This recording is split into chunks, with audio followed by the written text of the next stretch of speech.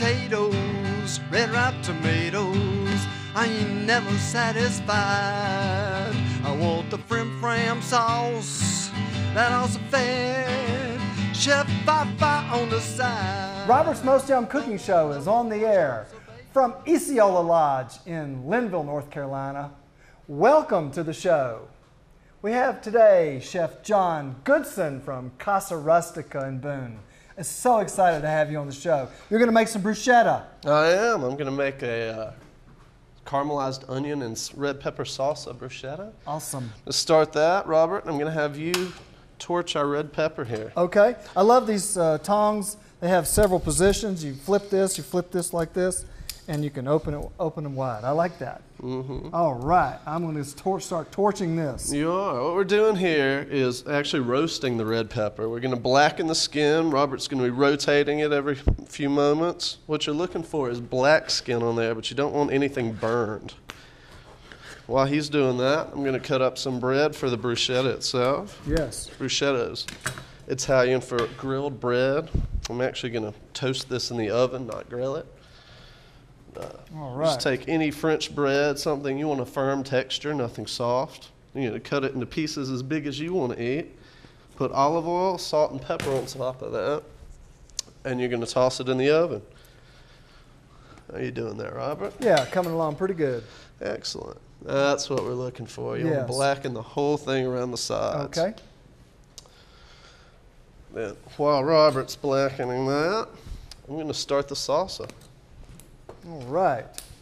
I'm going to take one red onion, take off the end of it, split it in half. If you leave the root on there, then it won't fall apart while you're cutting it. Hey, that's good French technique. Oh, yeah. Yeah. Then we're going to cut it radially, where I'm turning the knife a little bit each time I make a cut, Yeah. so that you end up with pieces of onion the same size each time. You end up with a dice that's called a brunoise. Oh, yeah. Mm-hmm. Mm-hmm. It's a nice even dice. It's going to be a nice size for our salsa. Great technique. We're going to put all this into our mixing bowl. In addition to the red onion, we're going to use some fresh garlic. Oh, good. Anytime you're cutting up garlic, make sure you take the root end off because nobody likes to crunch on that. No. Definitely. Where's your restaurant located? Uh, Casa Rustica is rest- ah, located on 105 in Boone. Yes. We're uh, almost across from Holiday Inn. And Your we- cuisine is uh, modern American Italian? it's American Italian. Yes. We serve everything you've heard of in an Italian restaurant, as well as nightly specials of steaks and fish. And we're open seven nights a week at 5 o'clock. I'm going to slice up, or dice up a green tomato. I'm going to add that to our salsa. Oh, good. Lots of green tomatoes out there on the vines in the country. I've got tomato plants in my yard. Pulling in a lot of red tomatoes, but there's plenty of greens, so you can make fried green tomatoes, or you can do this dish that you're doing today. Make sure you take the core out of the tomato when you cut it. Again, crunchy. Nobody likes that. Oh yeah.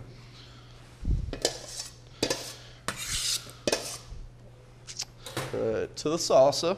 And don't worry about what order you're adding this. We're waiting for the pepper. You're going to add a little bit of cayenne, some pine nuts. Oh yeah. Pignolia. Mm, pignolas. Love those pine nuts. Salt and pepper. Olive oil, not much, just enough to loosen it up. Yes. And then whatever vinegar you have handy. I'm using red wine today. Apple cider works just as well. Nice. We're going to stir that up. Now, if you had a, a burner at home where you didn't have to use the tong, You could rest them in the oven. You might not get as black with them. okay, what do you think, Uh, sir? I think we're good there. Okay. So take that, wrap it up in plastic wrap. Okay. What we're doing now is sweating the pepper. All the right. plastic wrap's going to make the skin pull away from the pepper's flesh and make it really easy to peel off.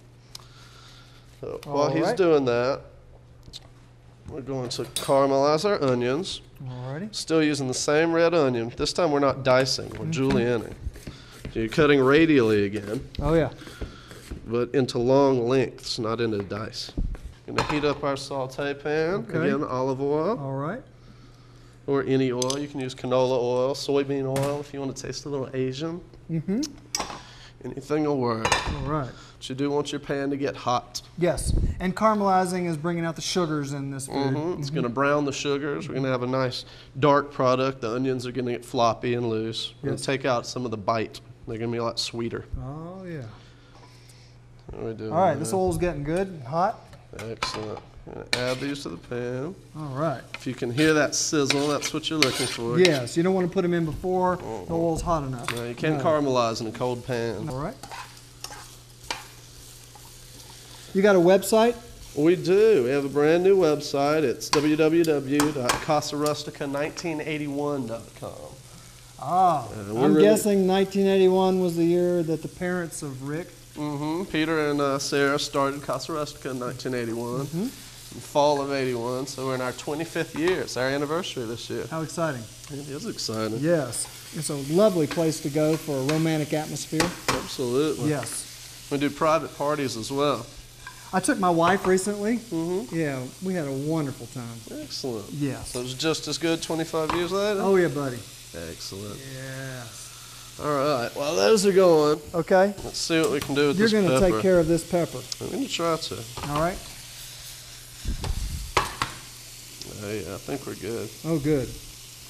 What I'm going to do here is take the back side of a knife Oh yeah, good technique. and peel the pepper, Mm-hmm. Is still That's very one hot hot. baby. Would you recommend putting it in an ice bath? You could put it in an ice bath, yeah. Or you could be patient and wait till it gets cool. Put it in Mm-hmm. Your fridge. You pretty much can't hurt it at this point. Oh yeah.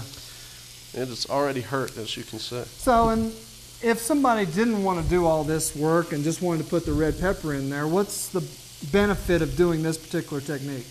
Benefit is you can tell your friends you roasted a red pepper. yeah, right. It Takes out the bitterness, doesn't it? It does. Yeah, the bitterness of that skin. hmm And you can buy roasted red peppers cans. You Oh, yeah. don't have Oh, to do this. Uh-huh. But it is a lot of fun. It is. Because let's how have fun often, in the kitchen. How often do you get to That's burn what I'm things? talking about. I hear that. All right, so I'm going to cut it open. Yeah, you're going to remove You'll those membranes. mhm, You see the white part? It's called the rib. We're going to take that out. Yes.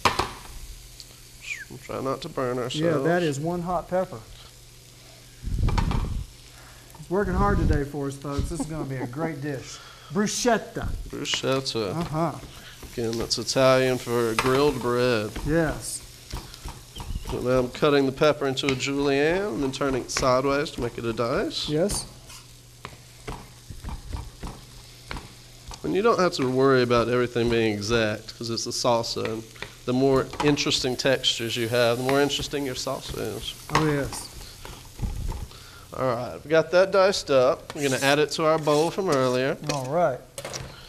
We're going to stir all that up. Oh, yeah. Turn that so our folks at home can see.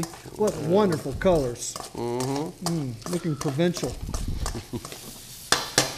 All right, that sauce is done for the moment. All right. These are caramelized, sir. Excellent. What we're going to do now is take the bread that we toasted. We're going to put, take some cream cheese, regular, everyday cream cheese. Oh, cream cheese. We're going to put that Oh, on top. So that keeps it from getting soggy when we throw all this wet stuff on there. Oh, yeah. The butter's going to melt, and make everything soggy. Ah, All right, so what we have here is bruschetta. yes. We're going to add your onions Take to. This is a light caramelization. You'll see that they're floppy now. Yes. We got a little bit of color to them. I like the color that hasn't gone too dark at this Mhm. point. You know, to mix with this beautiful salsa you've got. All right, at this point, let's go ahead and put them on the plate. Because the salsa is going to fall off if we carry it around. Yes. No, these are ready to go now. Ready to go because Mhm. you've already pre-toasted They're these. toasted. Mm-hmm. They're ready. Interesting. Now we're going to add our fresh salsa.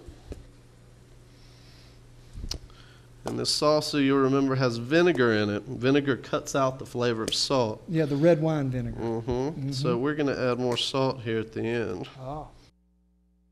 Then we're going to add a little bit of fresh Romano to each one. Romano. Mm-hmm. Mm. We grate this at the restaurant daily. Oh, nice.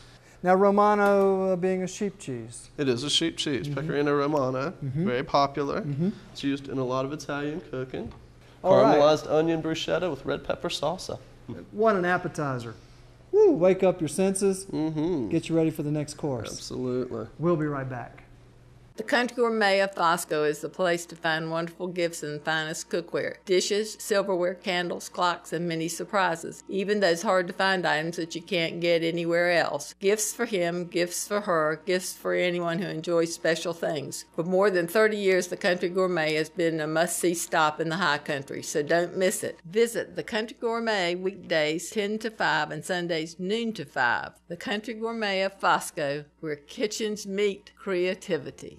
gadabouts, full service catering. You do it all, don't you? We can do anything. If we want to go simple, we can start with our fabulous hickory smoked barbecue that we cook ourselves eight to ten hours, or we can go to something elegant as uh, grilled lobster tails, filet mignon. We uh, have our own linens, china. Uh, we can provide tables, that everything you need. We try to find out what you know someone's looking for, and we tailor a menu to that. So it's a it's a custom arranged experience. Yes, sir. Uh, have food, will travel. Hello, I'm Pat Parks. And I'm Dave Parks. Welcome to Distinctive Cabinetry and Design. We're located at Shops at Twin Rivers in Foscoe. Whether it is a kitchen, bath, home office, library, or entertainment area, we at Distinctive Cabinetry and Design understand that we are creating more than just rooms. We will work with you to develop a design that fits your specific needs and tastes. So stop by and visit us and our staff at the most beautiful and complete cabinetry showroom in the high country.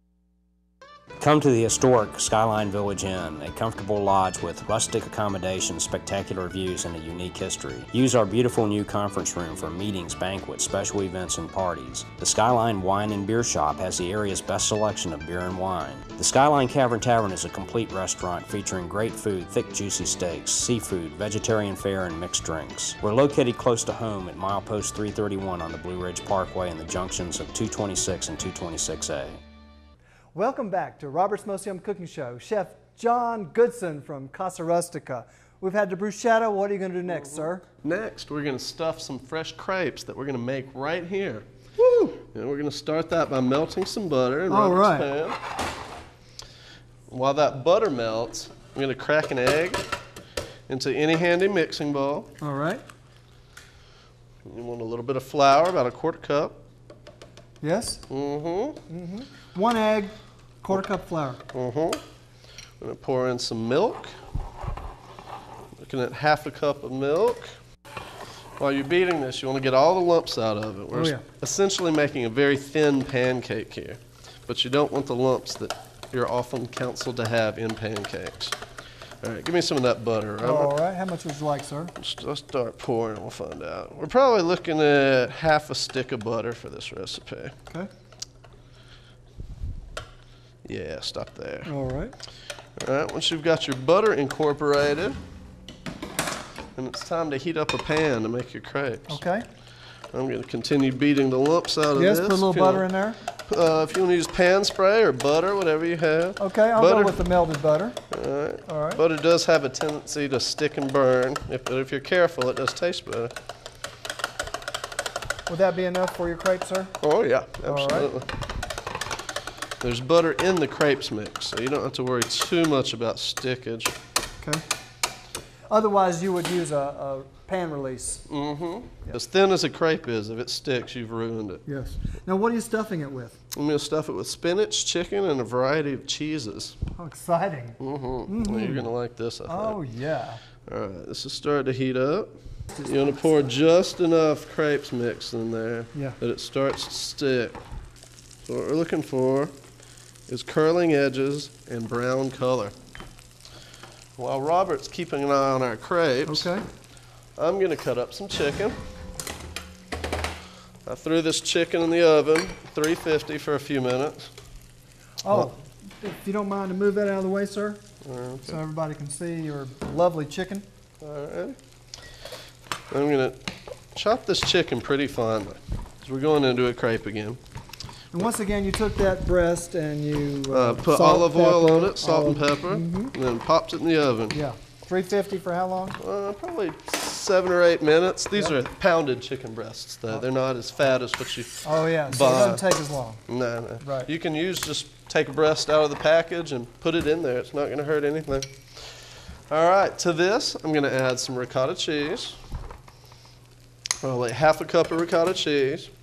And crack another egg in there. Wow. Mm-hmm. It's gonna be Rich. Absolutely. Yeah. We've got some fresh whole milk mozzarella here, shredded. That's a high-end mozzarella. It is. It's called grande. It's what we use at the restaurant, and it's excellent. Grande. Mm-hmm. Uh-huh. Just added Romano, salt and pepper, Parmesan cheese. Like I said, there's a lot of cheese going into this. Yes. I'm going to dice a little bit of a red onion. We're still using the same red onion from earlier. This is a good way to get full usage out of an onion before it goes bad. Yes. All right. Again, just rough chop it. After that, we're going to use some more pine nuts. And I'm going to mince some more garlic. This- Being Italian, garlic goes in everything. Oh yeah. Garlic. Go ahead and flip that over. Okay. Make sure again that you take the root ends off your uh, garlic. Not bad, Robert. Thank you, sir.